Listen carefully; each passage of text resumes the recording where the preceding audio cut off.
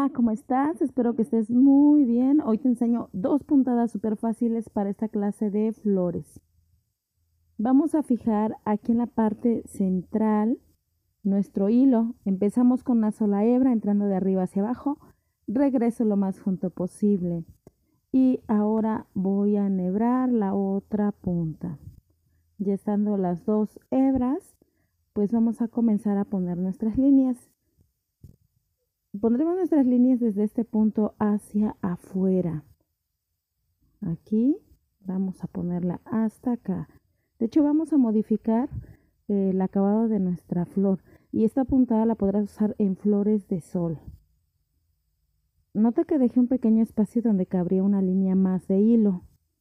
Aquí abajo todas van juntas, arriba llevan un pequeño espacio. Si quieres lo puedes dejar levemente más grande unos 3 milímetros, no hay ningún problema. Eh, yo por el tamaño de mi florecita lo voy a dejar así. Nota que aquí en la parte donde no hay eh, dibujo, también estoy poniendo líneas, pero estas líneas van más hacia adentro. Estoy como manejando una pequeña curvita ahí. Y ya donde hay pétalos, bueno, voy a ir poniendo mis líneas levemente afuera del contorno dibujado. De esta forma lo iremos poniendo. Es una puntada muy rapidita, queda muy bonita. Eso sí, solo te la recomiendo para diseños pequeños, no muy grandes. Vamos a continuar así hasta que demos toda la vuelta. Entonces, por eso abajo tienen que ir lo más juntito posible todas las hebras. Y solo arriba van levemente espaciadas.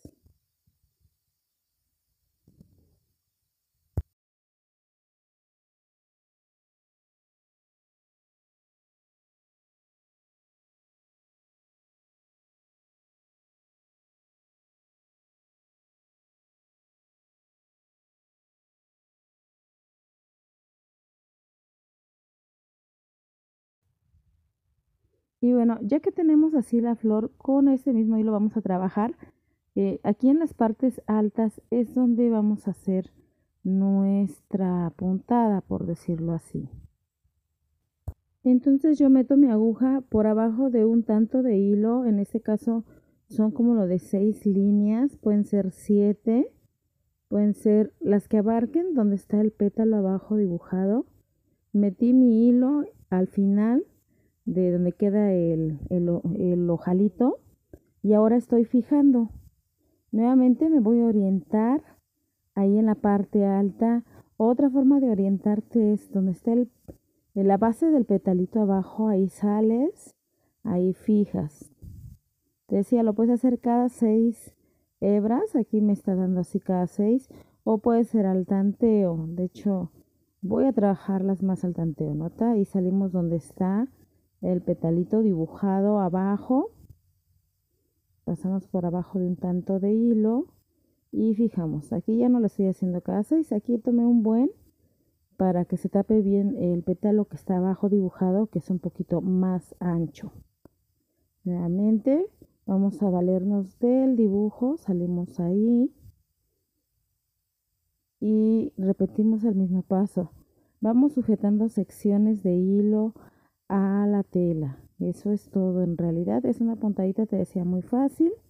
Ya si tú quieres que quede bien delineada, bien peinadita, bueno, cuando pongas la base vas poniendo todas las hebras juntitas y bien alineaditas. Yo en este caso quiero una flor un tanto crespa en los pétalos, entonces por eso va, van así a diferentes niveles. Fijamos. Y pues así vamos a continuar hasta dar toda la vuelta.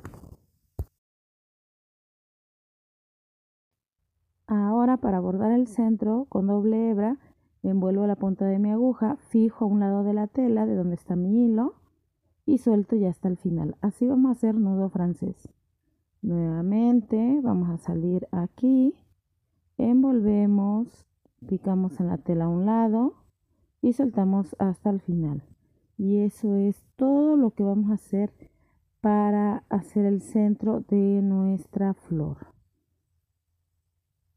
envolvemos y picamos a un lado. Recuerda que es a un lado porque si fijas ahí mismo se va el nudito del otro lado. Y el hilo se suelta hasta el final. Eso permite que no se deforme el nudito. Y bueno pues ya vamos a ver cómo se ve terminada esta flor ponemos otro nudito más para que quede bien relleno el centro.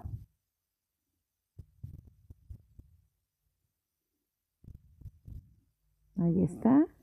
Así es como nos queda esta flor facilita y muy bonita.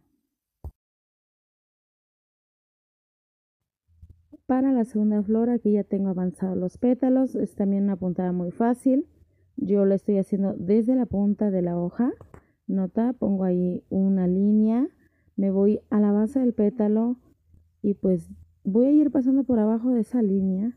Vamos a cerrar ahí junto y seguiremos el dibujo del pétalo. Pero aunque lo vamos siguiendo vamos cerrando levemente afuera. Esto para que quede un poco más grande y también para que tapemos la línea y no necesitemos hacer contorno. Así vamos pasando de un lado a otro y cerrando nuestra puntada. Pasamos por abajo y cerramos. Y pues eso es todo para hacer esa puntadita. Está muy fácil recomendada para pétalos y hojas así pequeñitos